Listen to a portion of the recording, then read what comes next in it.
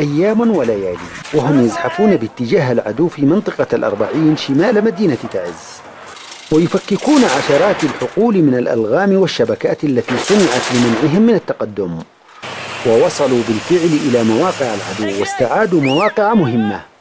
وتقدموا ببسالة وتضحيات كمن ينحت بالصخر. وهم يرون أن الحصار قد طال على مدينتهم ويجب أن ينتهي.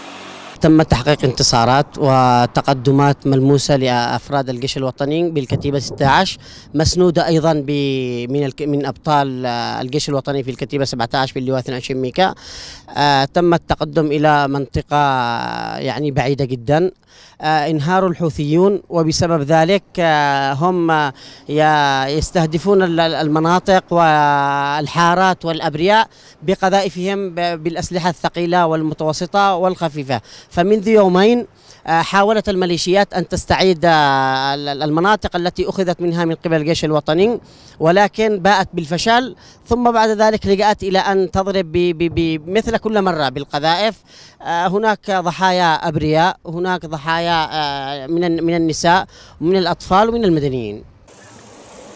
يتقدمون بثبات ويواجهون العدو بعزيمة لا تلين ويكبدونه عشرات القتلى والجرحى. وخاصة بعد دفعهم بمئات من المقاتلين المدنيين إلى المعركة.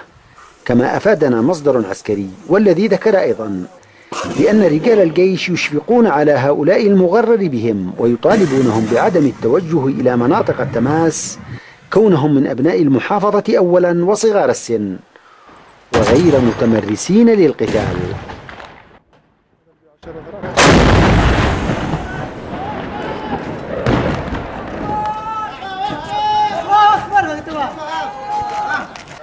كما تعرض شرق المدينة ظهر اليوم لقصف هستيري من قبل الميليشيات المتمركزة بتبة السلال وسوفتيل بالسلاح الثقيل. مما أفزع السكان وعلى رأسهم الطلاب وأولياء الأمور. فالانفجارات التي استهدفت الجحملية وحي الرضوان كانت مرعبة وتهز المدينة.